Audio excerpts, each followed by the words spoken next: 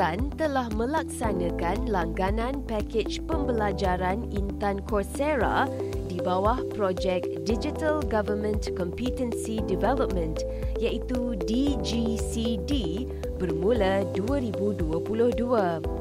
Intan Coursera merupakan platform pembelajaran digital secara dalam talian yang boleh diakses di mana-mana pada bila-bila masa.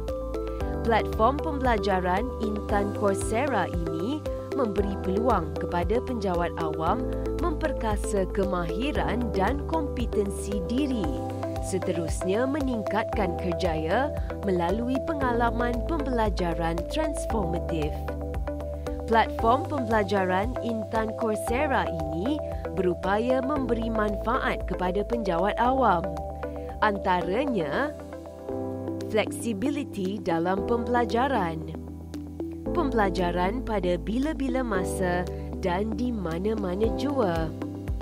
Pengalaman pembelajaran bersama ahli akademik universiti terkemuka dunia.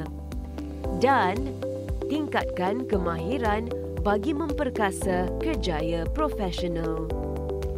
Intan Coursera menyediakan 2,500 lesen setiap tahun sehingga 2025, merangkumi 11 bidang kursus dan menawarkan lebih daripada 3,000 kursus dengan tiga tahap pembelajaran iaitu asas, pertengahan dan lanjutan. Kesemua kursus ini boleh diikuti secara percuma dan terbuka kepada penjawat awam. Langkah-langkah untuk mendaftar Intan Coursera. Langkah pertama, sila layari portal D-Teams di www.dteams.intan.my Palang Coursera. Langkah kedua, klik butang mohon.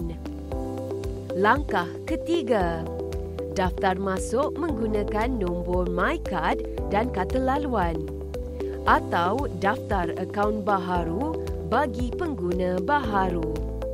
Lengkapkan permohonan anda dan klik butang hantar permohonan anda akan menerima email pemakluman daripada D-Teams. Seterusnya, anda akan menerima email jemputan daripada Intan Coursera. Klik butang Join Now dan seterusnya, klik butang Join. Klik tab Sign Up dan isikan ruangan nama, email dan kata laluan. Klik butang Join for free. Anda akan menerima email pengesahan daripada Intan Coursera. Klik pada pautan email yang diterima dan klik Back to Coursera. Akhir sekali, klik butang Join Program.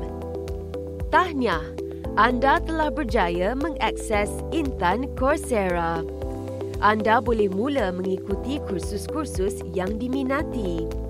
Anda boleh memuat turun sijil pencapaian setelah menamatkan kursus yang diikuti.